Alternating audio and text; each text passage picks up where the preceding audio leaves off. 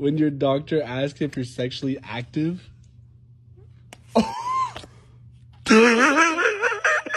Yep, she definitely won that game. I told you there would be a Britney doc on Netflix by the end of the month. There is. We're also getting two other shows on streaming you're gonna lose your mind over. A lot of TV news today. Uma Thurman revealed that her darkest secret is that she had an abortion.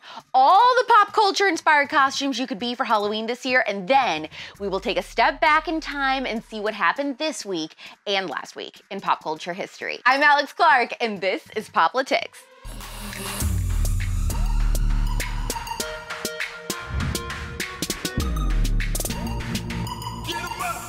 To brag, but I almost always get it right, and this story is no different. A few weeks ago on my personal Instagram story, at Real Alex Clark, I told you I thought there would be a Britney Spears Netflix documentary before the end of September. Most people did not believe me. Today, I have been vindicated because we are getting one September 28th. Hi, my name is Britney Spears. Um, I called you earlier, um, but I'm calling again because I just wanted to make sure um, you're in the process of ending the conservatorship. Okay, I guess a little humble brag never hurt anyone. It's almost like I spoke this into existence for y'all. You're welcome. The next time you want the streamer gods, not you, Zuck, to give you a doc the world needs, just let me know. No. Anyway, it's called Britney versus Spears. Amazing title, right? And Elle Magazine is reporting that the Netflix doc will be directed by true crime filmmaker Erin Lee Carr. You don't know who she is, but you do know one of her other documentaries, I Love You Now Die. Britney versus Spears has been in the works for over a year, longer than its Hulu predecessor, but it will soon be available to stream, promising another look at the unusual and constricting legal arrangement that has kept Britney's father, Jamie Spears, in control of her estate since her public breakdown in 2008. I like European, you know, real, real sophisticated types. Like Britney Spears. I feel like the Hulu doc left me wanting so much more from this story. Plus, so much has unfolded since that premiered. So, if anyone is to be trusted to distribute a documentary, I think Netflix is the place. Let me know in the comments which Netflix documentary is your absolute favorite. Doesn't have to be about a pop star. Blackfish comes to mind for me, except it had the opposite effect. Now, I'm not terrified of aquariums or hate aquariums. I'm actually terrified of those killer whales. FBI, huh? Uh, excuse me. All right, they're on to us. Get them back to SeaWorld. As if that isn't exciting enough, there's another show coming to a TV near you that we can all be thrilled about. Kathryn Hahn is going to play comic genius Joan Rivers in a new series called The Comeback Girl on Showtime. Joan basically invented the infamous red carpet line, Who are you wearing? Which I love because hashtag fashion, but also modern feminists hate hearing that question. They think that women need to be asked serious, intellectual questions, you know, blah, blah, blah. And it's like, no, you're wearing a ball gown walking down Hollywood Boulevard toward a mall, hoping that maybe you'll receive a little golden naked man named Oscar at the end of the night. We want to know about the dress. We don't care what you think about the environment when you just showed up in a bourbon. Joan was obviously controversial, but she told it like it was. And she asked the questions normal women everywhere still want to know. What are you wearing? AKA, where did you get that top? What the hell is that? A dress. Says who? Calvin Klein. And do we have any Pitch Perfect fans in the house? Aka awesome! Because soon we're getting a spin off series from that movie on Peacock.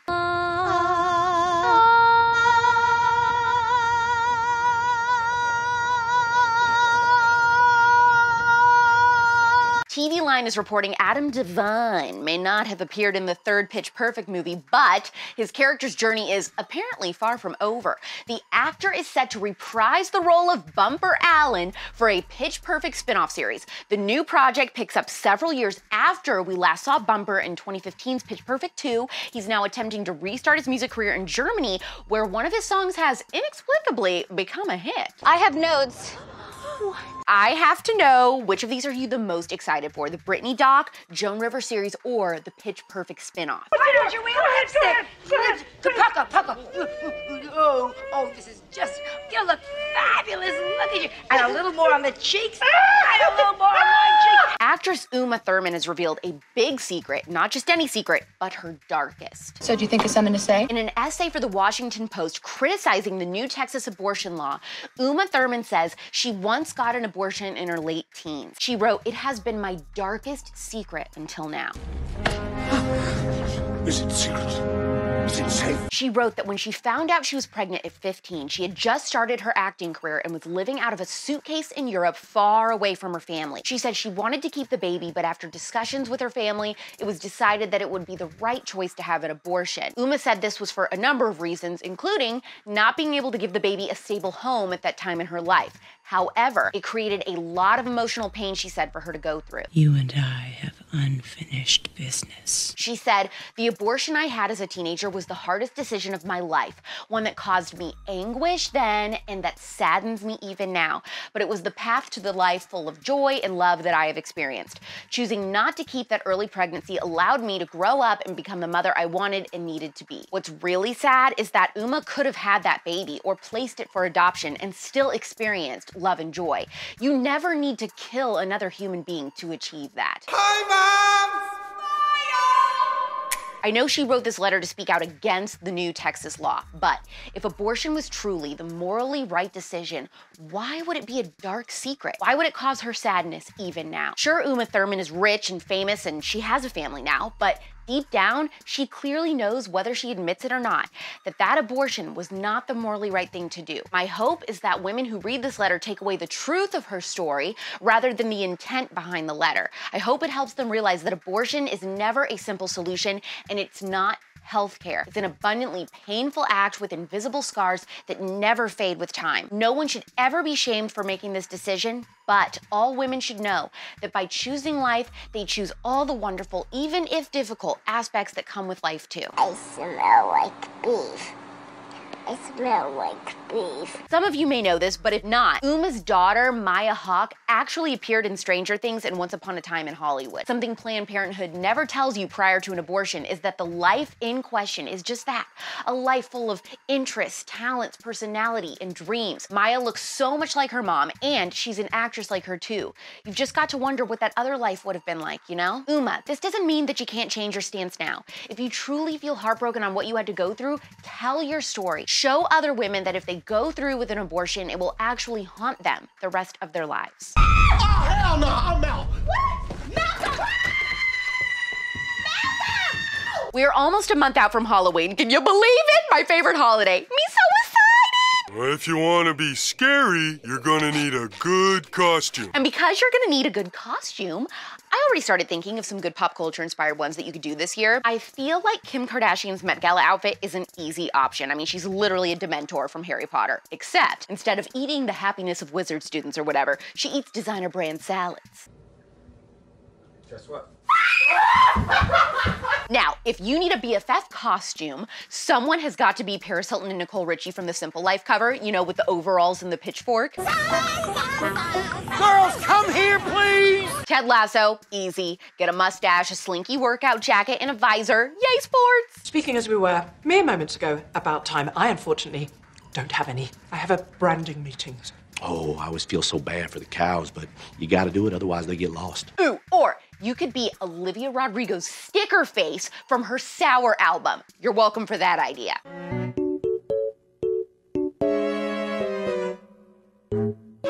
Don't give away what you're going as this year yet because we don't want copycats, but share in the comments your most creative costume idea from years past. What do you think of this? You like it? You know, I had never even seen Beetlejuice until the other night. I watched it for the first time with Nick. To be honest, I didn't love it, but I did appreciate it from an art standpoint, I suppose. To me, the best Halloween movie is Scooby Doo on Zombie Island. Cinematic masterpiece. Chef's kiss. Watch me swing right in!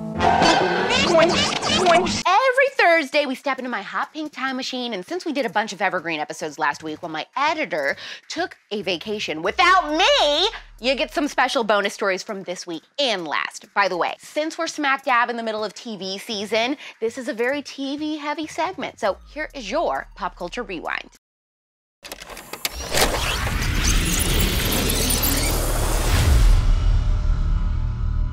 In 1969, one of my fave baby murderino cartoons was born. The OG, Scooby-Doo, Where Are You?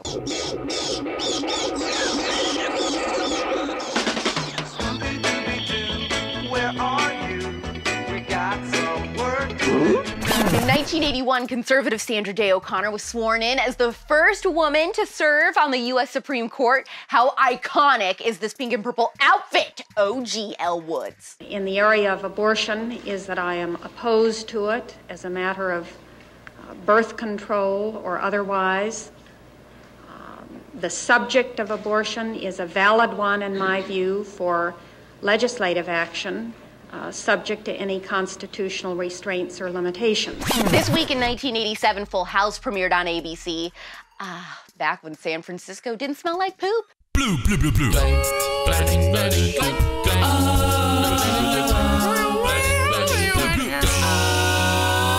1994, we got Friends, a show I hate, but many of you love.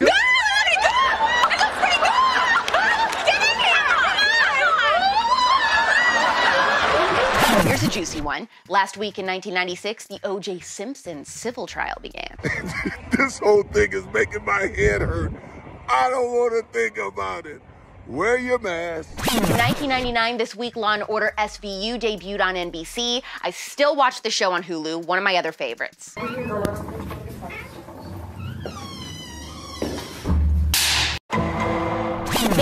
2009, Modern Family premiered on ABC as well. And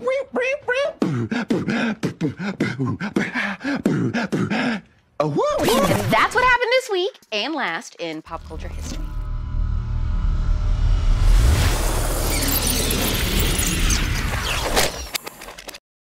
Here's the skinny, you little minx. Tonight at midnight Eastern, which means 9 p.m. Pacific, lucky for the West Coast peeps, you get a brand new episode of The Spillover. To find out who the special guest is, prepare for the announcement at 9 p.m. Eastern, 6 p.m. Pacific tonight on Poplitics Instagram. Make sure you take a pic of yourself listening to it in the car, screenshot it, share it to your stories, tell everyone about my totally awesome, totally life changing, skin clearing podcast. Then subscribe on Apple Podcasts and Spotify and leave a five star review if you like the show. And by the way, if you want to, you can watch the show every Friday on TPUSA Live or the Poplitics YouTube channel. As for Poplitics, this is the bread and butter show, the show that made the spillover even possible.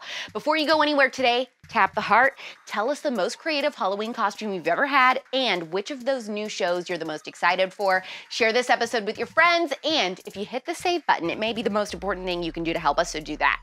We're back tomorrow at 4 p.m. Eastern, 1 p.m. Pacific. It's pop culture without the propaganda every single day. I'm Alex Clark, and this is Poplitics. Support Poplitics, the first ever conservative pop culture daily show, by subscribing to our channel, turning on notifications, and of course, hitting the thumbs up. Also, our main home is on Instagram. Seriously, just trust me, that's when the real magic happens. Follow us there at Poplitics.